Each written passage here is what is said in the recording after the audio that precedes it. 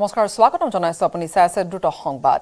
অসম কংগ্ৰেছৰ প্ৰাৰ্থী তালিকা প্ৰায় সাজু হৈ উঠিছে কংগ্ৰেছ হাইকমাণ্ডৰ হাতত পৰিছে প্ৰাৰ্থী তালিকা। এতিয়াও হাইকমাণ্ডে চূড়ান্ত কৰা নাই তালিকা দুটা সমষ্টিত চূড়ান্ত সিদ্ধান্ত ল'ব। ৰাহুল গান্ধীয়ে নগাঁও যোৰহাট আসনৰ সিদ্ধান্ত দিব। ৰাহুল গান্ধীয়ে।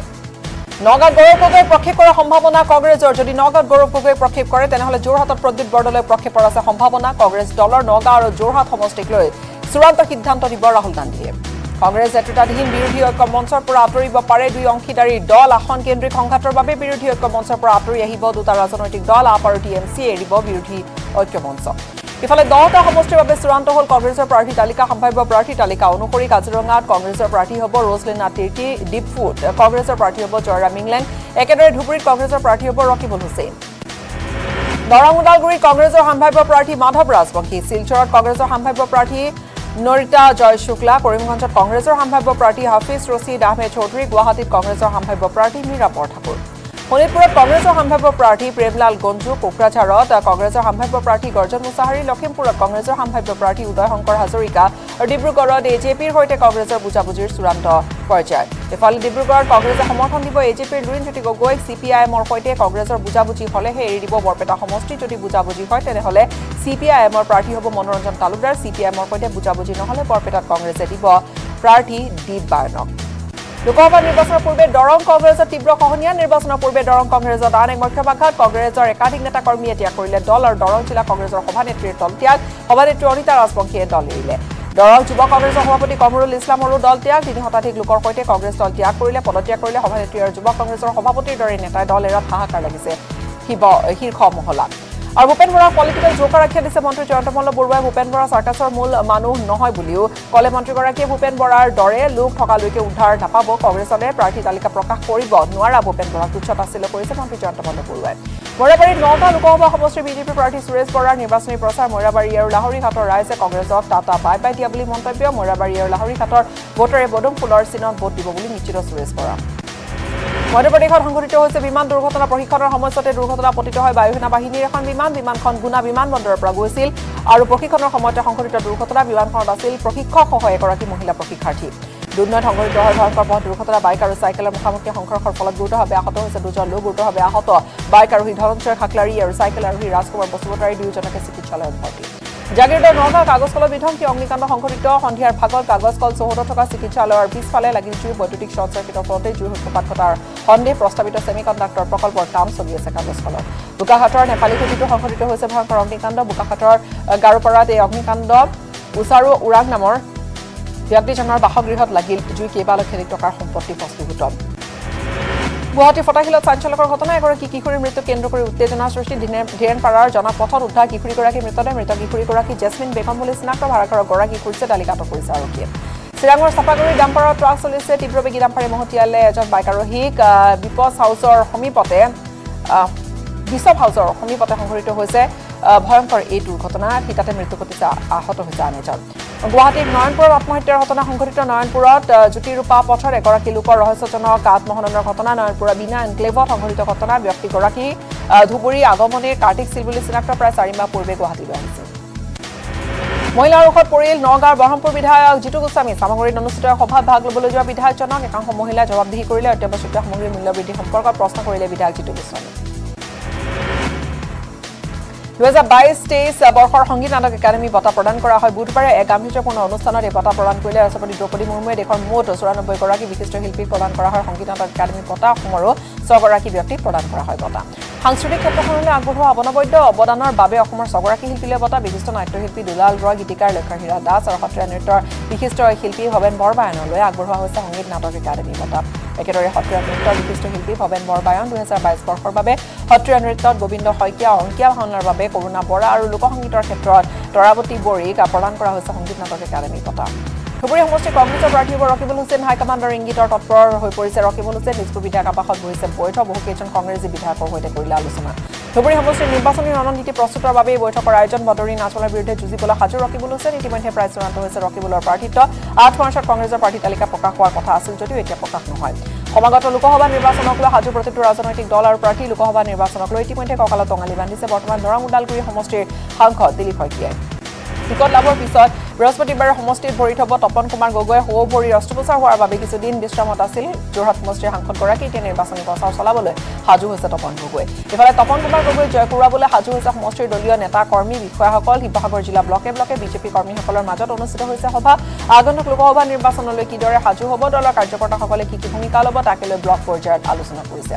ডিব্ৰুগড় লোকসভা নিৰ্বাচনৰ ৰা প্ৰাৰ্থী মনোজ চানৱাৰৰ নেতৃত্বত অসমতো কেজৰিৱাল অভিযান চলিছে ঘৰে ঘৰে গৈ জনসম্পৰ্কৰ সৃষ্টি কৰিবৰ বাবে অভিযানত নামিছে দলীয় টিকট লাভৰ পিছতে বুধবাৰে হোজা প্ৰথমবাৰৰ বাবে নিৰ্বাচনী প্ৰচাৰ চলালে কাজিৰঙা লোকসভা সমষ্টিৰ বিজেপিৰ প্ৰাৰ্থী কামাখ্যা প্ৰসাদ দাসে দবকা চহৰৰ ডিফু বাইপাছৰ পৰা বিজেপিৰ বিশাল কৰ্মী সমৰ্থকক লগত লৈ বৃহৎ ৰেলী বাহিৰ কৰা হয়। লোকসভা নিৰ্বাচনক লৈ ৰাজ্যৰ সকলো জিলা আয়ুক্ত আৰু আৰক্ষী অধীক্ষকৰ সৈতে বৈঠক নিৰ্বাচন আয়োগৰ হোটেল ব্লুত অনুষ্ঠিত হৈছে এই বৈঠক। ৰাজ্যৰ আইন শৃংখলা পৰিস্থিতি কেনেকুৱা স্পৰ্শকাতৰ ভোটকেন্দ্ৰ কিমান তেনে এলেকাত প্ৰয়োজন হ'ব অধিক নিৰাপত্তাৰক্ষী পাহাৰীয়া জিলাত উগ্ৰপন্থীৰ সক্ৰিয়তা আছে নেকি নিৰ্বাচন কেতিয়া অনুষ্ঠিত কৰা এনেকুৱা ধৰণৰ বিভিন্ন বিষয় সম্পৰ্কে আলোচনা কৰা হয় বৈঠকত। ইতিমধ্যে মঙলবাৰে জনতা ভৱনত নিৰ্বাচন আয়োগে ৰাজ্যৰ মুখ্য সচিব Pawan Borthakur DGP G P Singh আৰু ৰাজ্যিক মুখ্য নিৰ্বাচনী বিষয়া অনুৰাগ গোৱেলৰ সৈতে তিনিখনকৈ বৈঠকত মিলিত হৈছিল নিৰ্বাচনৰ আয়োগৰ দলটো। আৰু এই বৈঠকৰ পিছতে নিৰ্বাচনৰ দিন চূড়ান্ত হোৱাৰো সিদ্ধান্ত লোৱা হ'ব। শোণিতপুৰ লোকসভা সমষ্টিৰ প্ৰাৰ্থী ৰঞ্জিত দত্তক জয় কৰোৱাবলৈ ঘৰে ঘৰে গৈছে বিজেপি নেতাকৰ্মী। ঢেকীয়াজুলিৰ চিতলমাৰীৰ হিতাধিকাৰী ঘৰে ঘৰে গৈ বিজেপি নেতাকৰ্মীয়ে মোদীৰ গেৰাণ্টিৰ গুহাৰী পত্ৰ প্ৰদান কৰাৰ লগতে হিতাধিকাৰীসকলৰ সৈতে কথা বাৰ্তাও পাতে। তামোলপুৰ জিলাৰ বিভিন্ন কাৰ্যসূচীৰে কেইবাটাও উন্নয়নমূলক কামৰ শুভাৰম্ভণি কৰা হৈছে। তামোলপুৰ জিলা আয়ুক্ত কাৰ্যালয়ৰ ভূমি পূজন কৰিলে মন্ত্ৰী ইউজি ব্ৰহ্ম আৰু বি টি আৰ প্ৰধান প্ৰমোদ বড়োৱে দুৰ্নীতিগ্ৰস্ত অভিযন্তা সামেদ আলীৰ বিৰুদ্ধে চাৰ্জশ্বিট দাখিল হ'ল। বিশেষ ন্যায়াধীশৰ আদালতত চি এম ভিজিলেন্সে দাখিল কৰিলে চাৰ্জশ্বিট আতকৈ অধিক সম্পত্তি থকাৰ গোচৰত অভিযুক্ত হৈছিল সামেদ আলী। অভিযন্তাগৰাকীৰ বাসগৃহত চলিছিল চি এম ভিজিলেন্সৰ অভিযান। দোকানত চুৰ কৰিবলৈ আহি বিদ্যুৎ সৃষ্ট হৈ এতিয়া আঠ বছৰীয়া শিশু কৰুণ মৃত্যু মৰাণৰ তিলয়জানত ঘটনা। দিগন্ত দিহিঙীয়া নামৰ লোকগৰাকীৰ দোকানখনৰ ভিতৰত উন্মুক্তভাৱে থোৱা বিদ্যুৎ পৰিবাহী তাঁৰত লাগি শিশুটিৰ মৃত্যু ঘটে। চাংচাৰী ধৰ্মিতৰ ঘটনা চাংচাৰী ষ্টেট বেংকৰ সন্মুখৰ পৰা কৌশলেৰে নিলে দুই লাখ টকা অৱসৰপ্ৰাপ্ত শিক্ষক চক্ৰধৰ নাথৰ গাত। বান্দৰ কিকৰা লগাই দুৰ্বৃত্ত লুটি নিলে ধনখিনি আৰু ঘটনাস্থলীত চাংচাৰী আৰক্ষী উপস্থিত হৈ তদন্ত আৰম্ভ কৰিছে। গোৱালপাৰা হোটেল ৰামিয়াৰ পৰা দুটাকৈ এ টি এম চোৰক গ্ৰেপ্তাৰ কৰিছে ধৃত চোৰ দুটা। হাৰিয়ানাৰ মহম্মদ হাছিম আৰু বৰপেটাৰ বাস কৰা হৈছে নালি দুমাহ পূৰ্বে গুৱাহাটীৰ লালমাটিৰ এটা এ টি এমত লুটপাট চলাইছিল এই দুয়োটা চোৰে। গোলকগঞ্জৰ আগমনিত ভয়ংকৰ ঘটনা ড্ৰাগছ বিৰোধী অভিযান চলাবলৈ যোৱা আৰক্ষীকে আক্ৰমণ কৰিলে ড্ৰাগছ মাফিয়া ড্ৰাগছ পেডলাৰৰ আক্ৰমণত আহত হৈছে গোলকগঞ্জ আৰক্ষীৰ জোৱান হৰিদেৱ ভৰালী। আগমনিৰ হক বজাৰত আৰক্ষীয়ে ড্ৰাগছৰ বিৰুদ্ধে চলাইছিল অভিযান। অভিযানৰ সময়তে বৃহৎ পৰিমাণৰ ব্ৰাউন চুগাৰৰ লগতে এটা পেডলাৰকো গ্ৰেপ্তাৰ কৰিছে। আৰু অন্ধকাৰৰ সুযোগ লৈ কিন্তু আন কেইবাটাও ড্ৰাগছ পেডলাৰে পলায়ন কৰে। পলায়ন কৰা ড্ৰাগছ বেপাৰী কেইটাৰ সন্ধানত গোলকগঞ্জ আৰক্ষী নামিছে অভিযানত। গুৱাহাটী মহানগৰীৰ Munnabhai M B B S ওদালবাকাৰ আৰক্ষীৰ জালত পৰিছে ভুৱা চিকিৎসক। প্ৰেমানন্দ ৰায় নামৰ ভুৱা চিকিৎসকজনক গ্ৰেপ্তাৰ কৰিছে। গণেশগুৰিৰ নিউ মহামায়া মেডিকোজ নামৰ ফাৰ্মাচীখনৰ পৰা গ্ৰেপ্তাৰ কৰা হৈছে চিকিৎসকজনক দীৰ্ঘদিনৰ পৰা নিউ মহামায়া মেডিকোজৰ এই ফাৰ্মাচীখনত চিকিৎসা চলাই আহিছিল। প্ৰেমানন্দ ৰয় পঞ্জীয়ন নম্বৰ জালিয়াতি কৰি চলাই গৈছিল চিকিৎসা। মৃত্যুৰ প্ৰমাণ পত্ৰ দিয়াৰ নামতো জালিয়াতি কৰি যোৱাৰ অভিযোগ আছে। মহানগৰীৰ দক্ষিণ গাঁৱত গাড়ী চুৰিৰ ঘটনা মঙলবাৰে নিশা ন বজাত দক্ষিণ গাঁও এইচ ডি এফ চি বেংকৰ সন্মুখৰ পৰা চুৰে চুৰ কৰি নিলে টাটা মেজিক বাহন। ঘটনা সন্দৰ্ভত বাহনখনৰ গৰাকী মইনুল হকে ভগদত্তপুৰ আৰক্ষী থানাত ৰুজু কৰিছে গোচৰ ধুবুৰী বিলাচীপাৰা আঠ নম্বৰ ৱাৰ্ডৰ এঘৰত গৃহস্থ নথকাৰ সুযোগ লৈ চুৰে লুটি নিলে প্ৰায় ছয় লাখ টকাৰ সোণৰ অলংকাৰ অভিজিত চক্ৰৱৰ্তী নামৰ ব্যক্তিজনৰ ঘৰত চুৰে চলালে চাফাৰ অভিযান। গুৱাহাটী মহানগৰীৰ বৰবাৰীৰ নিশা গুলীচালনাৰ ঘটনা। মঙলবাৰে পাইপ মিস্ত্ৰীয়ে গুলীয়ালে ৰাজমিস্ত্ৰী গুলীবিদ্ধ চাদ্দাম আলী নামৰ লোকজন। এতিয়াও চিকিৎসাধীন বৰবাৰীৰ স্বদেশী একাডেমীৰ সন্মুখতে সন্মুখত হৈছে ঘটনাটো। পৰকীয়া প্ৰেমৰ বাবে সংঘটিত হ'ল ঘটনা। দহ দিন পূৰ্বে পাপনৰ পত্নী পলুৱাই নিছিল চাদ্দামে তাকে লৈ দুয়োৰে মাজত মনোমালিন্য ঘটিছিল আৰু সি ইতিমধ্যে ঘটনাস্থলীৰ পৰা জব্দ কৰে পিষ্টলটো। ইফালে সংকটজনক অৱস্থাত প্ৰতিষ্ঠা হাস্পতালত চিকিৎসাধীন কৰোৱা হৈছিলে গুলীবিদ্ধ চাদ্দাম আলীক আৰু চাদ্দামৰ পূৰ্বতকৈ কিছু সুস্থ বুলি জনা গৈছে যদিও বৰ্তমান আই চি ইউতে ৰখা হৈছে। পোহৰলৈ আহিছে গুৱাহাটী বৰবাৰী চাঞ্চলকৰ গুলীচালনাৰ ঘটনাৰ কিছু তথ্য ৰাজমিত্ৰী বাপনে কোকৰাঝাৰৰ পৰা ক্ৰয় কৰি আনিছিল পইণ্ট নাইন এম এম পিষ্টলটো নুৰ ইছলাম নামৰ এজন লোকৰ পৰা পিষ্টলটো ক্ৰয় কৰি আনিছিল ৰাখিছিল বাপনে। পিষ্টলটোৰ নাই চৰকাৰী অনুজ্ঞাপত্ৰ বিগত এটা সপ্তাহত কোকৰাঝাৰৰ পৰা গুৱাহাটীলৈ নিজে পিষ্টলটো লৈ আনিছিল বাপনে। চাদ্দামে বাপনৰ পত্নীক পলুৱাই নিয়াৰ পিছতে পিষ্টলটো গুৱাহাটীলৈ লৈ আনিছিল বাপনে। গুলীচালনা কৰা বাপনৰ ঘৰ হৈছে কোকৰাঝাৰত। আনহাতে গুলীবিদ্ধ চাদ্দামে মৃত্যুৰ সৈতে যুঁজিছে। বৰ্তমান জি এম চি এইচত সম্প্ৰতি পলাতক বাপনৰ পত্নী। উল্লেখযোগ্য যে বুধবাৰে গুলীচালনা কৰা বাপনক হাজিৰ কৰোৱা হৈছিল আদালতত। পিছপৰা আৰক্ষীয়ে পুনৰ জিম্মাত লৈছে। অৱসৰপ্ৰাপ্ত অভিযন্তা জাভেদ আলী হত্যাকাণ্ডৰ লগত জড়িত আন দুজন অভিযুক্ত। হাতীগাঁও থানাত আত্মসমৰ্পণ কৰিছে দুয়োৱে হাতীগাঁও ফ্ৰেণ্ডছ পথত সংঘটিত জঘন্য হত্যাকাণ্ডটোত জড়িত দুই অভিযুক্ত শ্বহীদুল ইছলাম আৰু বুলবুলে মঙলবাৰে হাতীগাঁও আৰক্ষীৰ আগত আত্মসমৰ্পণ কৰে। পৰিয়াল কেন্দ্ৰীয় সম্পত্তিৰ বাবে চুপাৰী কিলাৰ লগাই নিজ ভাতৃয়ে হত্যা কৰিছিলে। পৰিয়ালকেন্দ্ৰিক সংঘাতৰ বাবে জাভেদ আলী ঘটনাৰ এসপ্তাহৰ ভিতৰত মহানগৰ আৰক্ষীয়ে জাভেদ আলীৰ ভাতৃসহ চাৰিজনক গ্ৰেপ্তাৰ কৰিছিল। হাতীগাঁও আৰক্ষীয়ে আনহাতে আন দুই অভিযুক্ত দীৰ্ঘদিন ধৰি পলাই থাকিল আৰু অৱশেষত আৰক্ষীৰ আগত আত্মসমৰ্পণ কৰিছে। মঙলবাৰে নিশা আৰক্ষীয়ে গ্ৰেপ্তাৰ কৰি বৰপেটাৰ মন্দিয়ালৈ লৈ যায় দুয়োকে যিখন বাহনেৰে জাভেদ আলী খুন্দিয়াইছিলে শ্বহীদুল ইছলামে বাহনখন লুকুৱাই ৰাখিছিল মন্দিয়া নিশা বাহন উদ্ধাৰৰ বাবে হাতীগাঁও আৰক্ষী উপস্থিত হয় মন্দিয়া। শ্বহীদুল ইছলামৰ আই ডিৰে গুড লাক ৰিজেঞ্চিত বুক কৰা হৈছিল দুটাকৈ ৰুম আৰু বিগত বৰ্ষৰ ছাব্বিছ জুলাইৰ পুৱতি নিশা পৰিকল্পিতভাৱে হত্যা কৰা হৈছিল অৱসৰপ্ৰাপ্ত অভিযন্তা জাভেদ আলী। কলিয়াবৰত এগৰাকী মহিলাৰ বেংক একাউণ্টত লুটপাট চলালে। যুৱকে সৰুভগীয়াৰ বন্তি বৰদলৈ নামৰ মহিলাগৰাকীৰ বেংকৰ সমুদায় ধন লুটি নিলে দীপজ্যোতি বৰা নামৰ যুৱকজনে দীপজ্যোতিয়ে নিজৰ মোবাইল নম্বৰ বন্তি বৰদলৈৰ বেংক একাউণ্টৰ সৈতে লিংক কৰি গুগল পে'ৰ জৰিয়তে লুটি নিলে সকলো ধন। একত্ৰিছ তেৰ মাৰ্চত আধাৰশিলা স্থাপন হ'ব জাগিৰোডৰ ছেমি কণ্ডাক্টৰ প্ৰকল্পৰ। প্ৰধানমন্ত্ৰী নৰেন্দ্ৰ মোদীয়ে আধাৰশিলা স্থাপন কৰিব জাগিৰোডৰ ছেমি কণ্ডাক্টৰ প্ৰকল্পৰ। পূৰ্বে জাগিৰোডৰ কাগজ কলৰ ভূমিত হ'ব ছেমি কণ্ডাক্টৰ প্ৰকল্পে কথা ঘোষণা কৰিলে মুখ্যমন্ত্ৰী ডক্টৰ হিমন্ত বিশ্ব শৰ্মাই। দুৰ্নীতিৰে অভিলেখ ৰচা সুকন্যা বৰাৰ গোচৰত নাম খোৱা হেমেন দাসৰ স্পষ্টীকৰণ। মৰিগাঁৱৰ প্ৰাক্তন উপায়ুক্ত হেমেন দাসে নুই কৰিলে। সুকন্যা দাস কাণ্ড জড়িত থকাৰ অভিযোগ বিধানসভাৰ প্ৰধান সচিব হিচাপে পোৱা নিযুক্তিত কোনো অনিয়ম হোৱা নাই বুলিও স্পষ্ট কৰি দিছে হেমেন দাসে। আঠ মাৰ্চত কাজিৰঙালৈ আহিব প্ৰধানমন্ত্ৰী নৰেন্দ্ৰ মোদী। প্ৰধানমন্ত্ৰীক আদৰাৰ বাবে যুদ্ধকালীন প্ৰস্তুতি চলিছে কাজিৰঙাত আৰু প্ৰধানমন্ত্ৰীগৰাকী কাজিৰঙাত উপস্থিত হোৱাৰ সময়তে যাতে সুন্দৰ তথা সুশৃংখল পৰিৱেশ থাকে তাৰে পৰিকল্পনাত এতিয়া ব্যস্ত হৈ পৰিছে সকলো মন্ত্ৰী বিষয়া বিধায়ক। আঠ মাৰ্চৰ নিশা কাজিৰঙাত উপস্থিত হৈ কাজিৰঙা আৰক্ষী অতিথিশালাত ঐক্য যাপন কৰিব প্ৰধানমন্ত্ৰীগৰাকীয়ে ন মাৰ্চত পুৱা প্ৰধানমন্ত্ৰীয়ে দৰ্শন কৰিব কাজিৰঙা ৰাষ্ট্ৰীয় উদ্যান কহৰা বনাঞ্চল। প্ৰধানমন্ত্ৰীৰ আগমনৰ পূৰ্বে নৰ ওপৰত সজাই পৰাই তোলা হৈছে কহৰা বনাঞ্চলৰ প্ৰৱেশদ্বাৰ মিহিমুখৰ চৌপাশ নৰূপ দিয়া হৈছে কাজিৰঙাৰ প্ৰৱেশদ্বাৰক কাজিৰঙা ৰাষ্ট্ৰীয় উদ্যানৰ প্ৰাকৃতিক পৰিৱেশ উপভোগ কৰিবলৈ অহা প্ৰধানমন্ত্ৰীক আদৰিবলৈ প্ৰৱেশ পথ সুন্দৰ ৰূপত উপস্থাপন কৰিবলৈ তৎপৰ হৈ পৰিছে। ৰাষ্ট্ৰীয় উদ্যান কৰ্তৃপক্ষ পৰ্যটন মন্ত্ৰী জয়ন্ত মল্ল বৰুৱা আৰু কৃষিমন্ত্ৰী অতুল বৰা কাজিৰঙাত উপস্থিত হৈ তদাৰক কৰে প্ৰস্তুতি আঢ়ৈশগৰাকী পুৰোহিতৰ মন্ত্ৰোচ্চাৰণ আৰু এশগৰাকী মহিলাৰ প্ৰাৰ্থনাৰ মাজত প্ৰধানমন্ত্ৰীয়ে উন্মোচন কৰিব বীৰ লাচিতৰ প্ৰতিমূৰ্তি সাহসিকতাৰ মূৰ্তি নামেৰে পৰিচিত হ'ব অসমৰ সৰ্ববৃহৎ লাচিতৰ প্ৰতিমূৰ্তি। প্ৰধানমন্ত্ৰীয়ে মাত্ৰ দহ মিনিট সময় কটাব লাচিত মৈদামত। ইয়াৰ পিছতে পদপথেৰে মেলেং মেটেলি পথাৰৰ বিশাল জনসভাত উপস্থিত হ'বগৈ। প্ৰধানমন্ত্ৰীৰ অসম ভ্ৰমণৰ দিনাই প্ৰতিবাদ সাব্যস্ত কৰিবলৈ সাজু হৈছে বিৰোধী কলিয়াবৰত নটা ন মাৰ্চত ষোল্লটাকৈ বিৰোধী দলৰ অৰ্থাৎ বিৰোধী মঞ্চই বিশাল প্ৰতিবাদ সাব্যস্ত কৰিবলৈ সাজু হৈছে নগাঁৱতে মন্তব্য অখিল গগৈৰ কাজিৰঙা উচ্ছেদ বিৰোধী প্ৰতিবাদৰ গোচৰত নগাঁও জিলা সত্ৰ ন্যায়াধীশৰ আদালতত হাজিৰ হৈ কৰিলে এই মন্তব্য অখিল গগৈ ডিব্ৰুগড় কেন্দ্ৰীয় কাৰাগাৰত কাৰাবন্দী অমৃতপালৰ সহযোগী কুলবন্ত সিং আৰু সতীৰ্থ গুৰমিত সিঙক এম চি এইচত ভৰ্তি কৰোৱা হয়। মঙলবাৰে নিশা অসম চিকিৎসা মহাবিদ্যালয় হস্পিটেলত চিকিৎসাধীন কৰোৱা হয়। দুয়োজনকে সংকটজনক হৈ পৰিছিল এগৰাকীৰ অৱস্থা। বঙাইগাঁও ডেইৰী পাৰত ভয়ংকৰ পথ দুৰ্ঘটনা নিশা তীব্ৰবেগী ফৰ্চুনাৰ বাহনে মহতিয়ালে যাত্ৰীবাহী টেম্পোত আৰু দুৰ্ঘটনাত তিতাতি নিহত হৈছে এগৰাকী আহত হৈছে দহগৰাকী যাত্ৰী। দুৰ্ঘটনাত মৃত্যু ঘটিছে বিশু চৌধুৰী নামৰ দুগৰাকীৰ। মঙলবাৰে নিশা সংঘটিত দুৰ্ঘটনাত আহত দহজনৰ ভিতৰত চাৰিজনৰ অৱস্থা অতি সংকটজনক আহত ছজনক বঙাগাঁও চিভিলত ভৰ্তি কৰোৱা হৈছে। আহত আন চাৰিজনক উন্নত চিকিৎসাৰ বাবে ব্যক্তিগত খণ্ডৰ হাস্পতালত ভৰ্তি কৰোৱা হৈছে। দুৰ্ঘটনা সংঘটিত কৰি ফৰ্চুনাৰ বাহনসহ পলায়নৰ চেষ্টা কৰিলে চালকে। পৰৱৰ্তী সময়ছোৱাত উত্তৰ হানমৰা আৰক্ষীয়ে জব্দ কৰিলে ফৰ্চুনাৰখন ফৰ্চুনাৰখনত আছিল তিনি সুৰাসক্ত যুৱক এগৰাকী যুৱতী। ঘটনা সন্দৰ্ভত বঙাইগাঁও আৰক্ষীয়ে তদন্ত অব্যাহত ৰাখিছে। টেম্পোত অহা লোকসকল আছিল কেটাৰিং গ্ৰুপৰ সদস্য। নিশাৰ মহানগৰীৰ ধাৰাবাহিক দুৰ্ঘটনাক লৈ যান বাহন আৰক্ষী আৰু পৰিবহণ বিভাগৰ কাম কাজত শূন্য জিলা আয়ুক্ত সুমিত সত্তাৱান আৰু দুৰ্ঘটনা ৰোধ কৰিবলৈ দুয়োটা বিভাগক ব্যৱস্থা ল'বলৈ নিৰ্দেশনা জাৰি কৰিছে আয়ুক্তগৰাকীয়ে। নিৰ্দেশনাৰ পিছতে নিশা ৰাজপথত ঘূৰা পাই চালকৰ বিৰুদ্ধে চলিছে অভিযান। বটদ্ৰৱা ৰাইডঙীয়া বটদ্ৰৱা থান পৰিচালনা সমিতিৰ বিত্তীয় কেলেংকাৰীক লৈ অনুষ্ঠিত হৈছে নাগৰিক সভা। থান পৰিচালনা সমিতিৰ একাংশ সদস্য আৰু সম্পাদকৰ বিত্তীয় কেলেংকাৰীৰ তদন্তৰ বাবে জিলা প্ৰশাসনৰ লগতে মুখ্যমন্ত্ৰীৰ হস্তক্ষেপ বিচাৰিছে ৰাইজে। বটদ্ৰৱা থান পৰিচালনা সমিতিৰ সম্পাদক অৰূপ শইকীয়াৰ বিৰুদ্ধে বিত্তীয় কেলেংকাৰীৰ অভিযোগ ধন সোণকে ধৰি বিভিন্ন বিত্তীয় কেলেংকাৰী সংঘটিত কৰাৰ সন্দৰ্ভত উচিত তদন্ত বিচাৰি বটদ্ৰৱা ৰাইডঙীয়াত অনুষ্ঠিত কৰিলে নাগৰিক সভা। বটদ্ৰৱা থান পৰিচালনা সমিতিৰ বিত্তীয় কেলেংকাৰীক লৈ বৃহত্তৰ ৰাইডঙীয়া অঞ্চলৰ বাৰখনকৈ গাঁৱৰ ৰাইজে মিলি উপস্থিত থাকে নাগৰিক সভাখনত। ঘটনাৰ উচিত তদন্তৰ দাবী কৰিছে স্থানীয় লোকে। কোকৰাঝাৰত মৰণোত্তৰ পৰীক্ষা গৃহ কাৰ্যক্ষম কৰাৰ দাবী ডেপচুৱে কৰিলে প্ৰতিবাদ। বুধবাৰে কোকৰাঝাৰ চৰকাৰী উচ্চতৰ মাধ্যমিক আৰু বহুমুখী বিদ্যালয় খেলপথাৰ প্ৰাংগণত কোকৰাঝাৰ জিলা কমিটি এপচুৱে দুঘণ্টীয়া প্ৰতিবাদী কাৰ্যসূচী ৰূপায়ণ কৰে। মঙলবাৰৰ পৰা ডিমৰীয়াত পুনৰ সক্ৰিয় হ'ল আছু পূৰ্বৰ ডিমৰীয়া আছুৰ পৰিৱৰ্তে এতিয়াৰে পৰা সোণাপুৰ আৰু ক্ষেত্ৰীয় আঞ্চলিক নামেৰে ডিমৰীয়াত কাম কাজ চলাব আছে। মঙলবাৰৰ পৰা সোণাপুৰ আঞ্চলিক গঠন হোৱাৰ বিপৰীতে আগন্তুক এমাহৰ ভিতৰত সক্ৰিয় কৰা হ'ব ক্ষেত্ৰীয় আঞ্চলিক ছাত্ৰ সন্থা উল্লেখযোগ্য যে অনুশাসন ভংগ কৰাৰ বাবে কামৰূপ মহানগৰ জিলা ছাত্ৰ সন্থাই ভংগ কৰিছে ডিমৰীয়া অঞ্চল আঞ্চলিক ছাত্ৰ সন্থাক আৰু প্ৰায় এটা বৰ্ষৰ অন্তত মঙলবাৰৰ পৰা কেন্দ্ৰীয় সমিতিৰ নেতৃত্বত পুনৰ গঠিত হ'ল সোণাপুৰ আঞ্চলিক ছাত্ৰ সন্থা বছৰ বছৰ ধৰি উন্নয়নৰ মুখ নেদেখা এখন গাঁও পাণবাৰী হাবি গাঁও আৰু উন্নয়নৰ নামত গাঁওখনৰ ৰাইজে বঞ্চনাৰ বলি হৈ আহিবলগীয়া হৈছে যাতায়াত চিকিৎসা বিশুদ্ধ খোৱাপানী একোৰে সুবিধা নাই গাঁওখনত। ৰঙাপুৰত পাঁচটা প্ৰকল্পৰ আধাৰশিলা স্থাপন কৰিলে মন্ত্ৰী নন্দিতা গাৰ্লোচাই আৰু ফুলগুৰিৰ পি এম শ্ৰী কদমতল উচ্চ মাধ্যমিক বিদ্যালয়খনত মন্ত্ৰীগৰাকী উপস্থিত অসম চৰকাৰৰ বিকাশ যাত্ৰাৰ অংশ হিচাপে পাঁচটা প্ৰকল্পৰ আধাৰশিলা স্থাপন কৰিলে।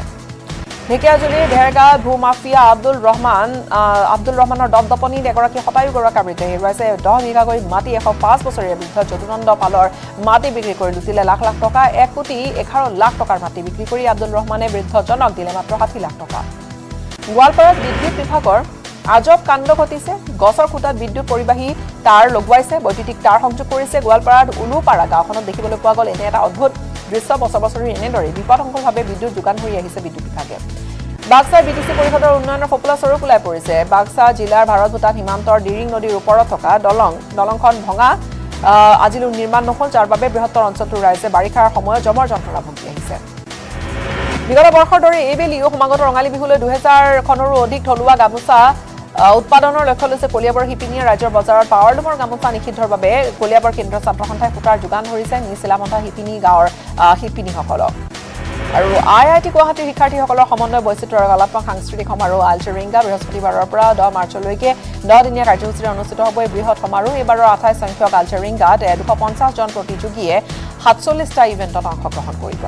পশ্চিম গুৱাহাটীৰ তাঁতিবামাত নটাকৈ শগুনৰ মৃত্যু ঘটিছে। আহত চাৰিটা ইয়াৰে এটা হৈছে লাহিটুটীয়া প্ৰজাতিৰ আৰু বাকীকেইটা হৈ হৈছে হিমালয়ান গ্ৰিফন প্ৰজাতিৰ। ইফালে একমাত্ৰ জনসাধাৰণৰ অসচেতনতা আৰু একাংশ লোকৰ দায়িত্ব জ্ঞানহীনতাৰ বাবে এনেদৰে শগুনৰ মৃত্যু ঘটা অতি দুৰ্ভাগ্যজনক মাজুলী কমলাবাৰী ৰাজীৱ গান্ধী ক্ৰীড়া প্ৰকল্পত অনুষ্ঠিত হেঙুল থিয়েটাৰ উপভোগ কৰিবলৈ অহা একাংশ দৰ্শকৰ উদ্বণ্ড উদ্বহণদালিৰ বাবে উদণ্ড আচৰণৰ বাবে অভিনেতা ৰবি শৰ্মা হৈ পৰিল ক্ষোভিত মঙলবাৰে অন্তিম নিশা চলা বনৰতা নাটকৰ অভিনয়ৰ মাজতে এচাম উদণ্ড দৰ্শকৰ উৎপাদত হাত জোৰ কৰি অসভ্যালি নকৰিবলৈ অভিনেতাগৰাকীয়ে জনালে অনুৰোধ।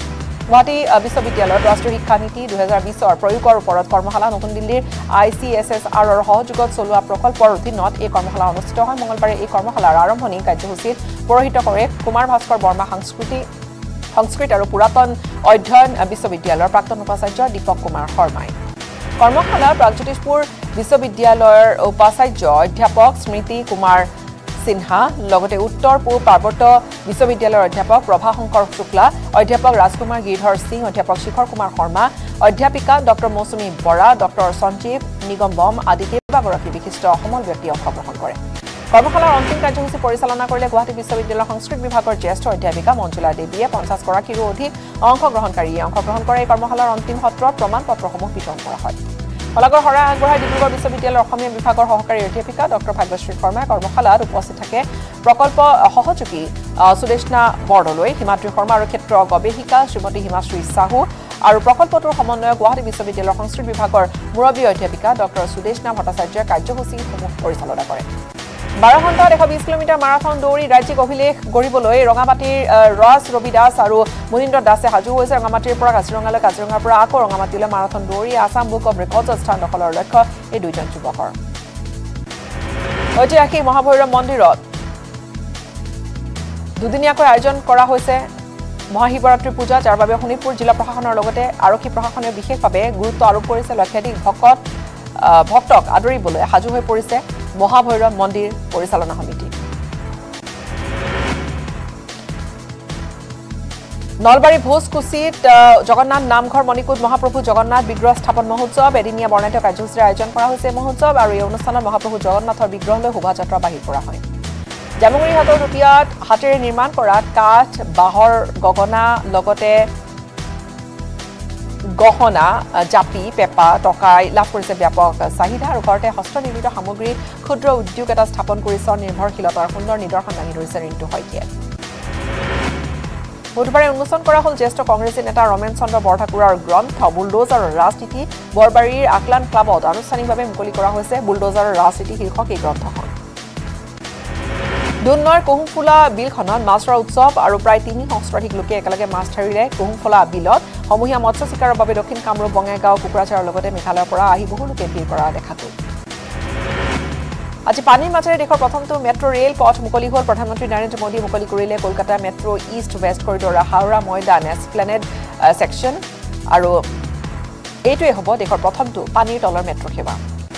ভূপৃষ্ঠৰ ত্ৰিছ মিটাৰ তলেৰে চাৰি দশমিক আঠ কিলোমিটাৰ দৈৰ্ঘ্যৰ এই ইষ্ট ৱেষ্ট কৰিডৰটো নিৰ্মাণ কৰা হৈছে। পানীৰ তলেৰে যোৱা এই মেট্ৰ' ৰেল পথ নিৰ্মাণৰ ব্যয় চাৰি হাজাৰ নশ পঁয়ষষ্ঠি কোটি টকা। এই মেট্ৰ' ৰেল পথে I T hub Salt Lake sector B সংযোগী সুচল হৈ উঠিব। প্ৰধানমন্ত্ৰী নৰেন্দ্ৰ মোদীয়ে পাঁচ দিনৰ ভিতৰত বুধবাৰ দিনটো হ'ব দ্বিতীয়বাৰৰ বাবে কলকাতা ভ্ৰমণ কাৰ্যসূচী প্ৰধানমন্ত্ৰীয়ে পানীৰ তলেৰে মেট্ৰ' ৰেল পথ মুকলি কৰাৰ লগতে মুকলি তথা আধাৰশিলা স্থাপন কৰিলে পোন্ধৰশ পোন্ধৰ হাজাৰ চাৰিশ কোটি টকাৰ আন কেইবাটাও প্ৰকল্পৰ। প্ৰধানমন্ত্ৰীগৰাকীয়ে বিয়লি শেহতীয়াকৈ বিতৰ্কৰ কেন্দ্ৰবিন্দু হৈ পৰা সন্দেশখালীৰ সমীপৰে বাৰাছত এখন জনসভাতো ভাগ ল'লে আৰু দহ দিনত বাৰ ৰাজ্য কেন্দ্ৰীয় শাসিত অঞ্চল ভ্ৰমণৰ কাৰ্যসূচীৰ ভিতৰতে প্ৰধানমন্ত্ৰীগৰাকীৰ কলকাতা ভ্ৰমণসূচী বিশ্বজুৰি ফেচবুক ইনষ্টাগ্ৰাম হঠাৎ অচল হৈ পৰাৰ ফলত বৃহৎ লোকচানৰ সন্মুখীন হৈছে মেটা প্ৰায় এশ মিলিয়ন মাৰ্কিন ডলাৰৰ লোকচান হৈছে। কাৰিকৰী বিচ্যুতিৰ বাবে হঠাৎ মঙলবাৰে এঘণ্টা সময়ৰো অধিক কাল বন্ধ হৈ পৰিছিল ফেচবুক ইনষ্টাগ্ৰাম। বুধবাৰৰ পৰা দিল্লীলৈ পুনৰ কৃষকৰ পদযাত্ৰা দিল্লী সীমান্তত আৰক্ষীৰ কটকটীয়া নিৰাপত্তা বেষ্টনী টিকৰি লগতে সিংহু গাজীপুৰ সীমান্তত মেট্ৰ' আৰু বাছ আস্থানত নিৰাপত্তাৰক্ষীৰ সতৰ্কতা বাঢ়িছে। ইয়াৰ সৈতে বিদায় ল'ম নমস্কাৰ।